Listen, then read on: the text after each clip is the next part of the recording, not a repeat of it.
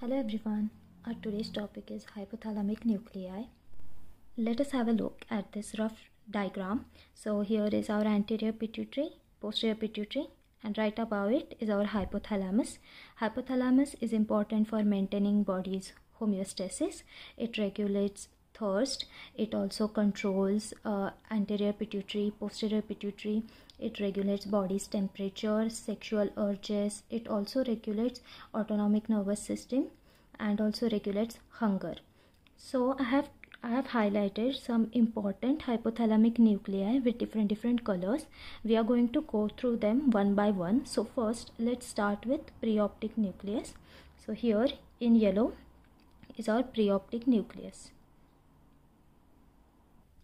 Preoptic nucleus is important for thermoregulation, sexual behavior and it releases GnRH. GnRH will further stimulate our anterior pituitary to release FSH and LH.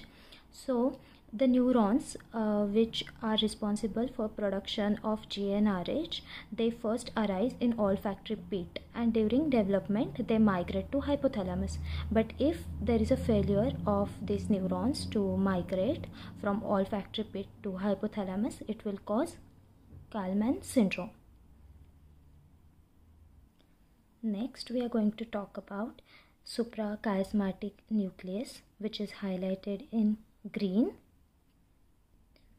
Suprachiasmatic nucleus controls circadian rhythm. So this rhythm controls nocturnal release of ACTH, it controls release of pro prolactin and melatonin and it is also important for regulating our sleep-wake cycle.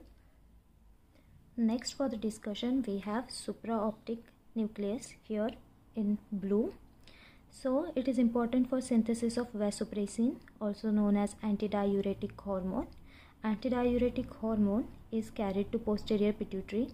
It is stored and uh, released from posterior pituitary. Paraventricular nuclei which is highlighted in brown color is important for synthesis of oxytocin. Oxytocin is also carried to posterior pituitary where it is stored and released as required.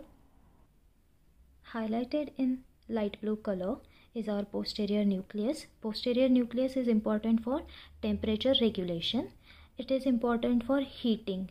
Now if there is a damage or a lesion in posterior nucleus, it will cause poikilothermia. It is a condition when our body's temperature varies according to the uh, according to the temperature of our environment and which is not a normal mechanism in humans also, posterior nucleus can stimulate the sympathetic nervous system. Another important nucleus for temperature regulation is anterior nucleus highlighted in red. So it is important for cooling. Now, if there is a lesion in anterior nucleus, it will lead to hyperthermia and anterior nucleus can also stimulate uh, parasympathetic nervous system. Highlighted with light green color is our ventromedial nucleus. It is a satiety center and it is stimulated by leptin. So if there is destruction of this nucleus, it will lead to hyperphagia and obesity. Lateral nucleus is not shown in the diagram, uh, but it is very important. It is a feeding center and it is stimulated by ghrelin and inhibited by leptin. So when there is destruction of lateral nucleus there will be anorexia and failure to thrive in infants. So these are some important uh, hypothalamic nuclei. And that's all from the video. Thank you